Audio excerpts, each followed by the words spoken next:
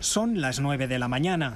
En la plaza de San Amaro de Madrid, decenas de carritos de la compra vacíos esperan su turno en las conocidas como colas del hambre, un fenómeno que encendió las alarmas en España en los peores momentos de la pandemia de COVID-19, cuando muchas familias perdieron sus fuentes de ingresos, pero que ahora vuelven a cobrar relevancia debido a la inflación. Muchas familias nos dicen que necesitan recurrir otra vez a las colas del hambre porque no pueden pagar el aumento del precio de los alimentos. porque ha subido todo, los alquileres, los alimentos. Según el Instituto Nacional de Estadística, la inflación anual se situó en el 9% en septiembre. Productos básicos como la leche, los huevos y el aceite se han encarecido más de un 20% si se comparan los precios de agosto de este año con los de 2021. Un aumento que muchos hogares ya no pueden resistir.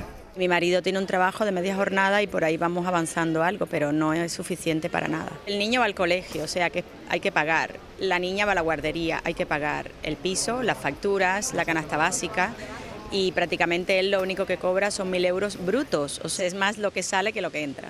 Casos como los de Malena son cada vez más comunes en los bancos de alimentos. Nosotros eh, citamos a, a, un número limitado de gente, que son 200, 200 personas cada día, pero van aumentando por derivaciones de servicios sociales y otras entidades en unos 150 a 200 familias eh, al mes. Un auge que también han detectado desde el Banco de Alimentos de Madrid, fundación privada que reparte comestibles a más de 560 entidades benéficas de la capital española.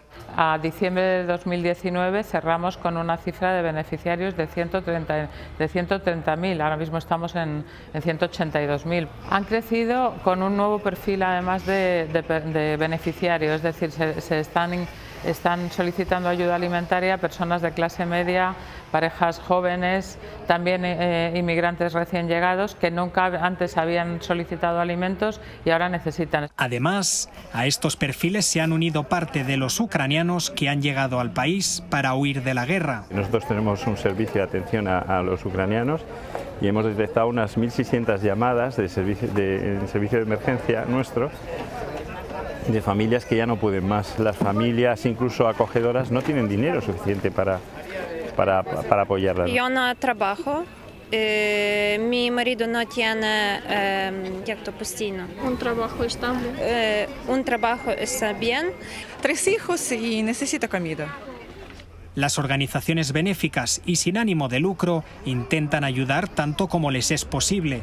No obstante, ellas también se han visto afectadas por las tiranteces de la inflación. En general las donaciones han bajado, además desde ese año 2019 han ido bajando y estamos como en un 40% menos de donaciones. Desde esta fundación animan a la población a donar alimentos, ya que las previsiones para este invierno no se presentan nada halagüeñas. Creemos que va a subir muchísimo más las colas del hambre con, eh, cuando empiece las calefacciones, cuando empiece a, se empiece a pagar el precio de, la luz.